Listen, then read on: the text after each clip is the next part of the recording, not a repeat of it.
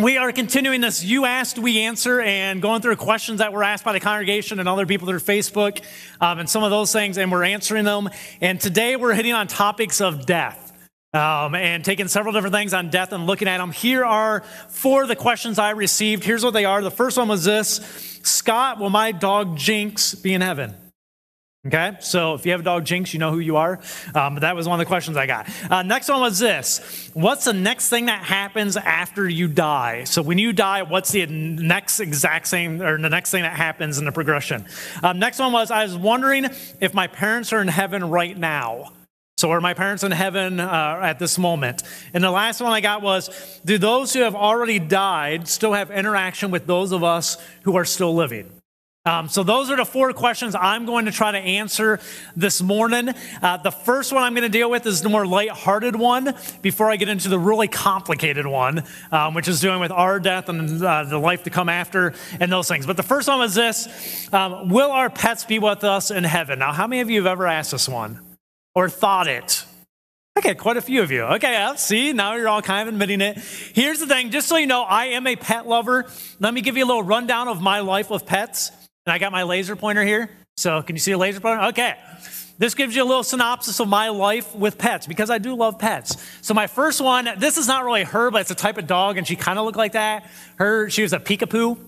And is my childhood dog. Her name was Cinderella. We called her Cindy all the time. Before her, we had Barky, which was like a black poodle, but I don't remember her too much. She was the one that was shot, right? Somebody shot her in the neighborhood. Yeah. Okay. That's how we grew up. Okay, so Barky got shot. The one I remember is Cindy. So we had Cindy, and I had her until like my junior year in high school. Um, so that was Cindy. My next pet was a cat, which personally I don't really care for because I'm allergic to cats, but we got them because my wife loves them. So right here was Mookie. That is Tiger. Mookie has now gone along with Cindy. Tiger's still hanging on. He's like 16 years old now and he still keeps going. I thought he'd be dead like five years ago and he keeps going. I can't understand it. Uh, so he keeps going. My next pets were I had ferrets. I actually had ferrets. When I was up north in Detroit, I had two ferrets up there that I gave away for adoption when I moved down here because they just wouldn't fit in our new house that we bring in down here. So they are actually really cool animals if you never had them. They're really cool. So this was Mario, my first one, and that was Luigi, his little sidekick that came on second. So I had Mario and Luigi. Uh, and then my most recent pet is Apple, who's still with us, lives at the house. So that is Apple, our dog we adopted from the POW. So the question comes Are they going to be in heaven? Here, let me answer some of mine for you. That one, I would say I hope so. My sister would say I hope not, because she hated my sister, and that was the best thing about it. This dog loathed my older sister and loved me, so it was great. She would literally sleep on the end of my sister's bed, and every time she rolled at night, you would hear the dog like growl at her and nip at her feet. And she lived in fear that dog for years. It was fantastic. Okay? Now, if we get into my cats, Mookie, is he in heaven? I hope not. Please, God, if they go to heaven, don't let him be there. Tiger, I can handle. I'm okay with Tiger. If we go to my ferrets, um, Mario, absolutely, I hope he's in heaven. Luigi, please, God, do not curse us with him in heaven. Um, you laugh. Let me tell you why. This one I had before we had Gideon. So I actually spent the time getting used to him and him playing with me and all. This one I bought because I had a baby and I felt bad for him. So I bought him a sidekick, but I never spent time with him. And he was a lunatic. Lunatic. Bite you, chew things up. You couldn't crowd. He was all over the place. He was a nut. Um, so I'm hoping that one's not in heaven. Maybe that one is. And Apple, my Apple, she's beautiful. She's lo- look at that lovely dog. Okay. Apple's like the perfect little dog. So um, hopefully she's in heaven. Here's the deal, though. Um, we got to understand this about animals. They are not moral creatures like we are. Okay, they're not, they're not moral creatures. For instance, Apple there, a few years ago, had caught a rabbit that got in our backyard somehow, got through our fence and got in the backyard, and Apple grabbed it and like chewed half of it apart and then was playing with the other half, okay? When a dog does that, you're like, Apple, give me the rabbit back, and you take it and you bag it up and you put it in the garbage, okay? No big deal. If my son was outside and caught a rabbit and torn half of it up and then was playing around with it and flinging it around and stuff and thought it was a toy, there'd be a different issue. Okay, I wouldn't be like, oh, Gideon, no big deal. Why? Because we, we are moral people. We understand there's rights and wrongs, and we understand animals do not. Animals are instinctive, um, so we know they're not moral animals. In Genesis 1:26 makes it very clear that we're superior to animals. They are not our equals. Um, we live in a society where some start thinking animals are morally equal to us. They're not. Okay, they're not morally equal to us. When you read the Genesis account, it says this Then God said, Let us make human beings in our image to be like us. They will reign over the fish of the sea, the birds in the sky, the livestock, all the wild animals on earth, and the small animals that scurry along the ground. Okay? Um, at the end of the day, what we find is this we are superior over animals. They're not our moral counterparts, they're not morally equal to us. And Jesus Christ didn't die for animals, He died for us. But the Bible is also not real clear is your individual pet going to be in heaven with you? Bible's not real clear. What the Bible is clear is this there will be animals in heaven. We do see that, that there are animals there. Will it be your individual pet? I have no clue. So, what I would tell you is this you're free to believe whatever you want. Okay? If you want to believe, if I want to believe that Apple's going to be in heaven someday when she passes on, and that makes me feel fine, that's good. As long as I don't go around saying I know it's an absolute thing of God, I know she's going to be in heaven. Okay? Or if I want to think that uh, Luigi's not going to be in heaven, that's fine. As long as I don't go around going, I can absolutely guarantee your pet doesn't go to heaven, that they just cease to exist and are gone. Because the Bible's just not real clear on it. Um, but the Bible does show that there will be animals in heaven. Does that answer it for you? So you can kind of believe what you want on that one. Here's where it gets more complicated. Let's go to question two, three, and four. Question two is this What happens right after you die? Then the next question is, is my parent, are my parents in heaven? The last one is, um, which was, uh, the last one was, do the dead interact with the living? Those have already passed on. Let's take some time to answer this. This is where I said this gets complicated. Two parts, two of these questions are fairly easy. One's really rough. And one of them, the best way I can say it is this must be where most Christian cults get their beginning because I went on so many websites reading stuff and midway through them started to realize, oh, this is like a cult.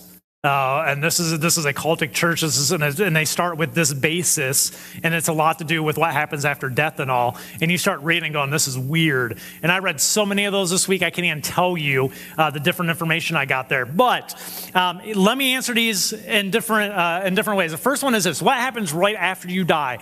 This is a question all of us ponder because all of us think about death from time to time is that minute when you pass what happens next here's the thing that i can answer for sure that I'd say I'm pretty confident on. As you read, most scholars, almost most scholars across the board would agree with these things.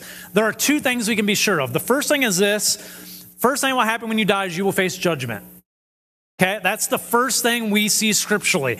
In Hebrews 9 27, it reads this it says, and just as each person is destined to die once, and after that comes judgment. Okay? So the first thing we can assume when we die, the next thing that will come will be judgment. Now, as a Christian, that word judgment's not real scary because we know what will happen there. That's not a, a scary thing to us as the word judgment seems to be. If you don't know Jesus Christ or you don't know what's going on, judgment, that word does sound scary. But to Christians, we know the next thing that happens is judgment. The second thing we kind of know is this after judgment, you'll be assigned your eternal home. And that will be in the presence of God in heaven or the absence of God, which is called hell. Um, you'll be in his presence or not in his presence for eternity. You will go to your place. Second Corinthians 5.10 and states this, For we must all stand before Christ to be judged. We will each receive whatever we deserve for the good or evil we have done in this earthly body. And then you can read several other scriptures that talk about um, heaven and hell and being in God's uh, in God's um, uh, presence and out of God's presence. You can see a lot of other scriptures. Those two things, I would say, I'm fairly sure of. The next question, though, makes it much more complicated, which is this: um, Are those who have already died currently in heaven or hell? Meaning my dad's who's gone or my grandparents who are gone, um, are they currently right now in heaven and hell or are they not? And there are all sorts of theories based on scripture about this. Some believe The minute you die, your body dies, but your spirit is with God. He rises in God's presence, your spirit, until the day that the body resurrection thing will happen when Jesus comes back, and then your spirit will rejoin a new body, a heavenly body. Okay? There's others that believe you cease to exist. You just are gone, and then someday when Jesus comes back, then you will be like almost recreated and, and brought into the kingdom. Um, there's others that believe you go into a state of sleep, and you're in a state of sleep for that time between your death until the time that Christ returns, and you don't really know what's happened because you're just kind of in a sleep state. There's all sorts of theories. And the best thing I thought I could come this morning to do is this we're just going to read some scriptures. I will give you at the end of it this my opinion. That's the best I could go. This is stuff I've been dreaming about for four days, trying to go, how do I fit all these scriptures together that make some type of cohesive um, point or statement? Here's the, some of the scripture I want to look at. The first is First Thessalonians chapter 4. Paul writes this, and this is a very interesting passage, especially the way it starts. Here's what he says He says, And now, dear brothers and sisters, we want you to know what will happen to the believers who have died, so you will not grieve like people who have no hope. So Paul starts a statement off and he says, Here's what I want you to do I want you to know what happens to you when you die so that you will not grieve like those that have no hope, like non believers. So you have an idea of what's going to happen so you're not grieving like them. You are not hopeless like them. Then he goes in and he describes the information he wants us to know. And he says this For since we believe that Jesus died, and was raised to life again. We who believe that when uh, Jesus, uh, we also believe that when Jesus returns, God will bring back with him the believers who have died. Now, if you stop there, it seems to be saying they're with him and he will bring them back with him when he returns. Okay, that's how that sounds there. But if you continue on, it says this. We tell you this directly from the Lord.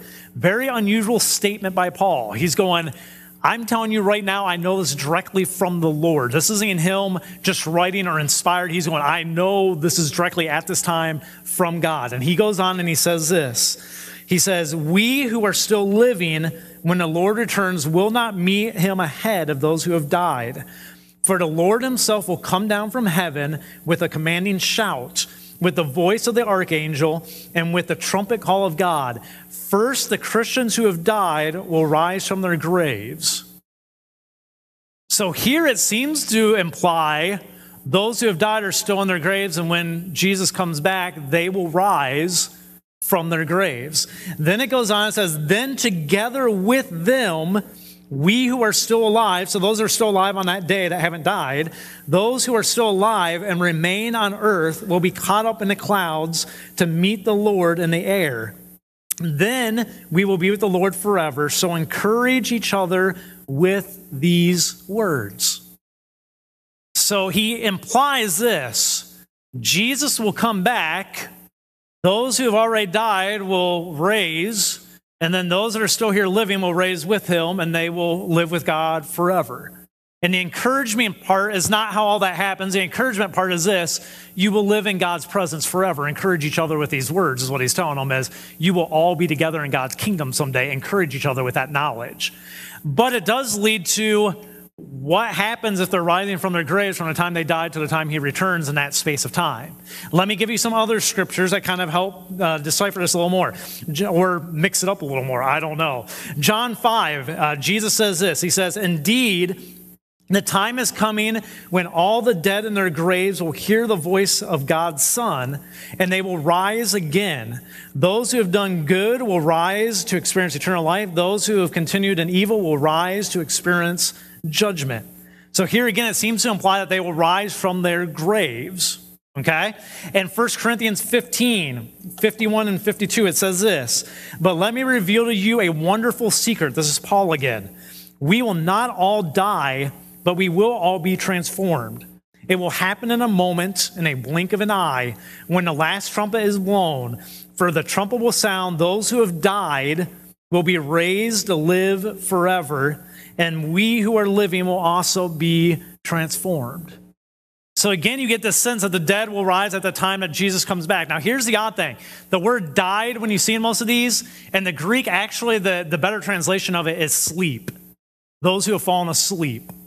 Um, those who are sleeping uh, is a better translation. And Second Corinthians, Paul writes this He says, Yes, we are fully confident, and we would rather be away from these earthly bodies, for then we will be at home with the Lord. I threw that one in because that seems to be different than the other ones, which says the minute you die, you'll be in the Lord's presence. But the others seem to say you'll come out of your graves when Jesus returns someday. Do you see how this gets complicated? Um, so the question comes back to are those that have died, are they already in heaven or hell as we sit here today?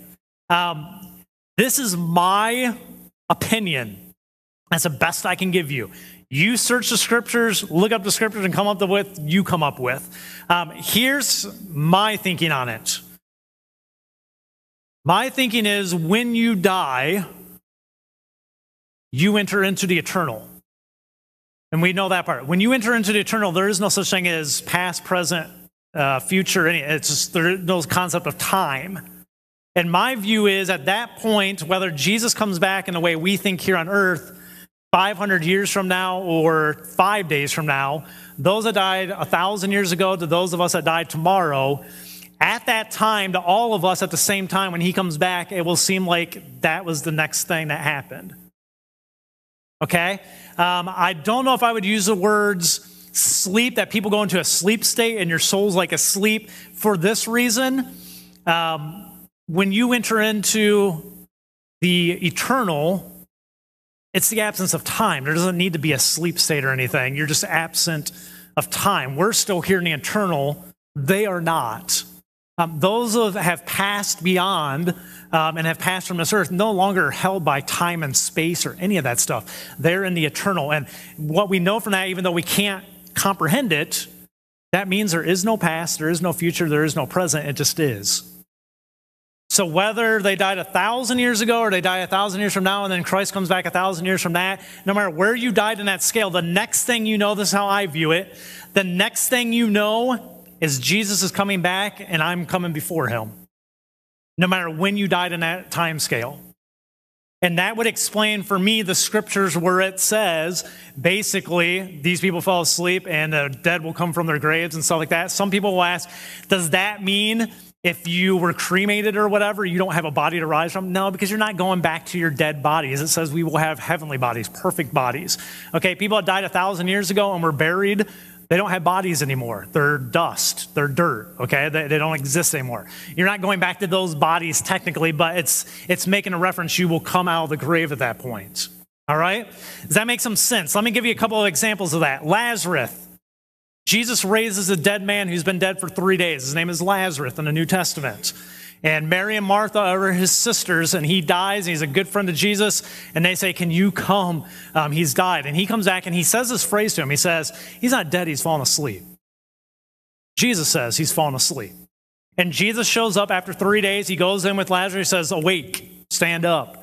And it says Lazarus awakes and he's back alive. Now, here's my thinking if Jesus was in God's presence already, he's ticked off. Right? If I, uh, who did I say? Okay. Don't go there. Lazarus, okay? If Lazarus has been in God's presence for three days in heaven, and then Jesus calls him back into his body to this earth, do you think he's going to be a happy guy? No. I'm going, what are you doing? Call me back. I don't care if Mary and Martha want me back or not. I really don't care. I don't want to be back here. I was just in heaven. What makes sense to me is this Lazarus doesn't even know the difference. He doesn't know he's been dead or anything. All he knows is he's in bed and now he's waking back up and he's walking out. And it says he walks out and Jesus tells him, Take the garments off of him. He's probably in, a, in my sense of view, he's in a fall going, What is on me? And people are ripping it off, going, Hey, he's back. And then he's probably like, I died? I, I didn't know I died. Last I knew is I, you know, I was just laying there. Uh, that's how I view. Another example you have in Mark 5, I'm a Roman soldier comes to Jesus and says, My daughter, and she dies. And Jesus says, She's not dead. She's just merely fallen asleep. And it says that people laugh at him, like, Ah, you're an idiot. What are you talking about? She just fell asleep. She's dead. She's been dead for a couple days. Jesus goes in there and he tells her, Awake. She wakes up. Uh, so, my view is this my view is when you enter the eternal, time no longer has the concept that we understand time to have and whether you died a thousand years ago in time or a thousand years in the future and Jesus comes back later, you don't know any difference because you're in the eternal. It all happens at once for all of us at the same time. Does that make sense? That's my view. Let me get into the next question then, which is this. Um, do those who have already died, do they interact with those of us that are living? So those that are gone, do they interact with us that are living? And my answer to that one, I think, is a more simpler one, which is no. Um, they do not. Let me tell you why. When we die, we face judgment, we go to our eternal home. All right? Um, de- at death, we are done with this world. We're done with this world. Uh, there's nothing else here for us. We're done um, with this world. Um, if I am wrong, so let's go back and go, my opinion's wrong, which is very possible. And let's say when you die, you are in God's presence, or at least your spirit or whatever's in God's presence. I look at Revelations 21, 3 and 4, and it says this It says, I heard a loud shout from the throne saying, Look, God's home is now among his people. He will live with them and they will be his people. God himself will be with them and he will wipe every tear from their eyes and there will be no more death or sorrow or crying or pain. All these things are gone forever. I look at that passage and go, if by chance you have people already in heaven and hell, they're not going to be able to interact back here and not avoid pain, sorrow, heartache. Why? We live this life. If you were in heaven, there's no way to come back and interact with people in this life and not have pain and all that. If we are in heaven and we are absent of all that stuff, there's no way you're interacting back um, on this earth. That leads to this question that some people might ask then Does that mean you're wrong if you talk to your loved ones who have died? How many of you ever talked to someone that's died and you've had a conversation with them? Does that mean you're wrong because I'm telling you no, you can't have a conversation with them? Here would be my answer no. Okay? We're humans, we're emotional. We find ways to cope. And some of us, that's a coping mechanism that we need, and that's all right. I don't think God has any issue with that. Now, if you use that person who has passed on to go, they're the ones that will supply me comfort, they're the ones that will guide me and stuff like that, now you're crossing a line because you've taken the authority of God away from Him and you're using it for someone else. But to talk to someone that's passed for comfort and all, Absolutely. Now, if you asked me two and a half years ago before my dad died, I would have no understanding of this stuff and I'd be like, I don't know. Um, but because I know what my mother's gone through and talking to her and stuff like that, and even my, my own life, you know that's what you do at times. Why? It's coping, and that's okay. So, can you talk to someone that's already died? Is it really them to hear? No, and most people will admit that are Christians. I know they're not really there, but it helps me. And God gives you that ability for that to help you, and God supplies that for you to go. And that's why they were part of your life for the time that they were. Okay? That's okay. So here's what I want to wrap up today. What do we take from the questions and answers today? Because I want to leave you not just with a here's some educational thing, you can think this way or what. What can you take today from that? And here's what I think it is it's a very simple message. And the message is this if you know Jesus as your Lord and Savior, you have no reason to fear death. No reason to fear death because to be absent from this body is to be with the Lord. No reason to fear. You know what's coming. You know judgment and placement are coming. And if you are a Christian, you know it says you can have confidence when you come before the, uh, the, the throne of the Lord. Why? Because you know you're right with Him because of your relationship with God. So death should not be something you fear in your life. Why is that important? Let me tell you why. If you don't fear death, you will fear nothing else on this, in this world. Death is the number one fear we have, the unknown, the death. When that's cleared up, nothing else can scare you in this world. And if you are not fearful of anything in this world, it leaves you to be completely unhindered to live for Jesus Christ and to do his work while you're here. Think about it. Why do we pursue materialism and stuff so much? If you really boil it down a lot, it's out of fear. I want to have purpose in my life. I want to make it feel like I'm doing something, accomplishing something, and I'm fearful I won't. So if I can accomplish all these things and have the stuff around me, it somehow gives me value. No, you're just doing stuff out of fear. Why do you make this decision and try to please these people and disobey God? A lot of times because we fear how those people will react. So I fear those people will withdraw their relationship. I fear these people will retaliate. I fear I will lose my job if I do the Christian thing. And we live in constant state of fear. And when you can get over the fear of death, you can get over the fear of everything else in your life. And when you do that, you are unhindered to live the life God has called you to. And you can have an incredible impact on the world around you at that point because no longer do you live in fear of people and fear of the future and fear of what might be. All you care about is this I know whether I die now or I die 50 years from now, I will be in the presence of God. And while I'm here, I'm here to serve Him. That's why it's important and why Paul says, I want you to understand what will happen when you die and to comfort each other with these words. We don't have to fear death. Does it bring us sorrow at times? Absolutely. We don't have to fear it. Do you have to fear the ceiling's going to collapse on you right now? No. If you're newer here, you know we have a metal ceiling, so especially in the springtime, as the sun comes out and it heats up, it expands and it pops. Okay, so don't fear the roof collapsing on you. Because even if we all die right now, guess what? I'm going to see you the next thing I know in the kingdom of God. And here's the hope those that have died that know Jesus, you will see them again. They are not gone forever. Um, all they are is separated from us for this moment as we still live out this life here. And someday we will be with them in the presence of God again. And you can take hope in that as a believer. And you can look at that and it can change your entire worldview of how you live every day of your life. Don't live in fear because you know what happens to you when you die. Would you pray with me?